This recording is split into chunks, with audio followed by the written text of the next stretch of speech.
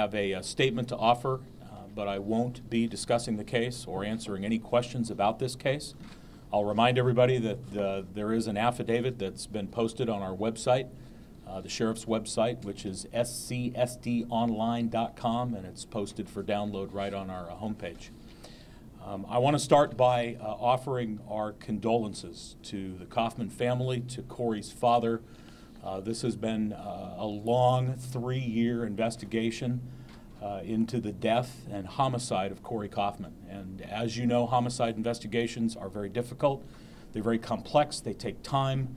Uh, and as you can see by uh, the chiefs and my colleagues who stand with us, this was a multi agency effort and we are pleased with the results of today's arrests, and we hope to serve justice for the Kauffman family. On April the 2nd, 2012, Korey Allen Kauffman was reported missing by his stepfather, Kevin Lee Pickett, with whom he'd been living. Kauffman was last seen at the residence of his best friend, Mike Cooley, who also lived in Turlock. Kauffman was supporting his family by scrapping uh, which is a slang term used to describe activity related to metal theft and other property crime as a means to make money. On August 19, 2013, human remains, later confirmed to be Kauffman, were located in a remote area of Mariposa County. I want to thank and acknowledge Detective Sherry Hendricks of the Mariposa County Sheriff's Office for her diligence and tenacity in this case.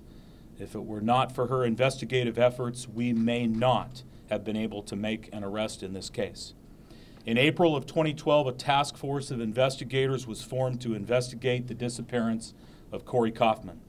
Due to the location he was last known to be and where he was last known to be going, the jurisdiction could have been the city of Turlock or the unincorporated area of Turlock policed by the Stanislaus County Sheriff's Office. Both agencies worked together to form what was to become a much larger team.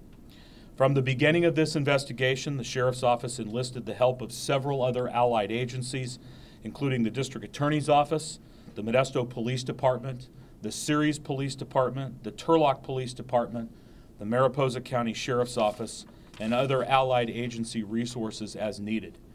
This also included those law enforcement agencies who assisted us today in the execution of search and arrest warrants in this case. Those agencies include the San Joaquin County Sheriff's Office, the Manteca Police Department, the Department of Justice, and the California Department of Corrections and Rehabilitation. The task force has worked together since 2012 in order to see that justice is served, I'm sorry, culminating in today's arrests and execution of search warrants. And again, uh, even though the affidavit is out, uh, we arrested uh, Frank Carson today for, for murder. His wife, Georgia uh, Filippo, for murder. Christina DeFilippo, his daughter, uh, for conspiracy and accessory uh, to murder. The Atwal brothers, the business owners in Turlock, uh, Daljit and Baljit Atwal for murder. Walter Wells for murder. Scott McFarland for conspiracy and accessory uh, to commit murder, Eduardo Quintanar again for conspiracy and an accessory to murder, and finally Robert Woody for homicide and conspiracy. Again, this is a very difficult case, and uh, I want to now introduce to you uh, the district attorney here in Stanislaus County, Birgit Fladager. Good afternoon. Uh, I would just like to echo the sheriff's comments uh, on two particular points. One is that we will not be taking questions to discuss specifics of the investigation or the case. And secondarily, I'd like to express my gratitude to all the various agencies that worked very well together on this very lengthy investigation. Uh, it took a lot of work, it took a lot of time, uh, and uh, it has finally come together. Uh, for those who are interested, we have been receiving some inquiries about when we will be filing charges and what we will be filing. Uh, that will be made public uh, by Tuesday, uh, and that would likely be the court date for the arraignments on the individuals. The complaint will be made public at that time uh, and not prior to that time. Thank you. And now I'd like to introduce the uh, Commissioner of the California Highway Patrol, Commissioner Joe Farrow. Well, good afternoon, uh, ladies and gentlemen. Obviously, uh, I'm here, uh, saddened by the news uh, that has been revealed here this afternoon. Um, the California Highway Patrol is a very proud organization. Uh, values and integrity is uh, beyond description at times, and to hear news like this is, is devastating to our organization.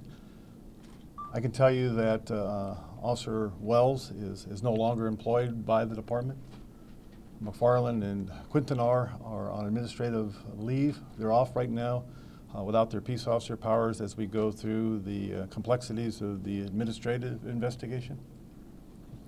But I wanted to tell you this, and the reason why I wanted to come here today is that obviously uh, news like this impacts uh, our organization. I think it impacts uh, all of American law enforcement. It, it just kind of rips at the, the soul of an organization. Uh, it's not what we stand for. It's so far beyond what any organization stands for. Uh, to learn that you have employees in an organization like ours that have uh, some involvement, uh, uh, any involvement or any knowledge uh, of a murder is, is, is devastating. I too would like to give my sincere condolences to Korey Kauffman's family. I can't even imagine what news like this does to, to their family and friends. and I mean that very, very sincerely. our condolences from the entire organization. But at the same time, one of the reasons why I wanted to come here is not just to talk about the obvious uh, issue about being uh, devastated and, and, sad when you when you learn something like this, but at the same time, uh, stand up here and be proud of the law enforcement profession, and to be up here and stand up here and be uh, just gleaming with with pride. And the reason I say that is that you know this is a this is a three-year-old case. And uh, these investigators, these agencies, uh, this sheriff's department, along with the district attorney's office and many, many agencies, uh, they never gave up. Uh, they continued to work this investigation and had many, many, many challenges and complexities. And they worked this case through exhaustion, and they never gave up, even though it became extremely difficult. And I think that's important for all of us to realize is that the foundation of law enforcement is good and that it's pure and that men and women work extraordinarily hard to bring justice. And what they are doing here today is they're bringing justice to the Kauffman family. And I think that's really, really important uh, for people to realize. And I'd close my, my introductory comments by just saying this, is that right now today, uh, our department is, is wounded from, this, from, the, from the viewpoint that this is damaging to, to everybody. But I wanted to tell you that there are 11,000 men and women out there. Many of them are working today. Uh, they're honest, hardworking, they're good people. They're, they're good police officers, they have good values, they're doing a very, very difficult job out there right now. Uh, they are learning about this incident as we speak. Uh, I made it a point to notify all of them that are on duty uh, right now. They are learning as, as the public is learning. Uh, they are, I would imagine, they are devastated. Uh, they're very saddened by the news. But they have to continue to work. And, uh, and I fully support them out there right now, and I hope you do too. I hope the public does. I hope they realize that these events, while very, very, very sad, they're rare. Um, but we should all be proud that law enforcement will do what they have to do. They will bring justice to the forefront that's what's been done in this case, but we need to continue to support those that are still out there uh, doing this job uh, with the professional integrity that we all so desire. Um, I have a few minutes. If you have uh, some questions that you would like to ask specifically about uh, the California Highway Patrol or the, the investigators, I would leave questions or that uh, specific about the case to the district attorney's office or the sheriff's office. But if you do have questions about uh, my department, I will take this right now. Yes, ma'am.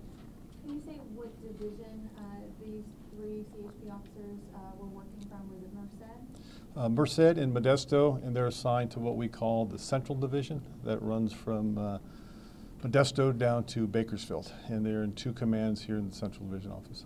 Did they work together? Uh, two of them did, and one was in a different command. Which two? I believe it was Wells and McFarland were in one uh, command, and uh, Quintanar was in the other. Did they know each other? Yes. Why, why were um, the two placed on administrative leave and the other one is no longer the charter? Officer Wells was, uh, uh, is no longer employed at this department for conduct outside of what you're hearing about today.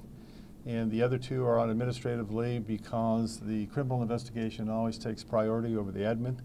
And so we waited for the criminal investigation to be done, and then we automatically uh, began the ad, the admin investigation. Are they in custody? Yes. Where? Uh, I believe they're, they're here in the Stanislaus County Jail. And specifically, and feel free to look back towards the camera, specifically, what are the charges against them? Uh, The what charges against Wells are for uh, participation in murder, and the other two are obstruction of justice and conspiracy.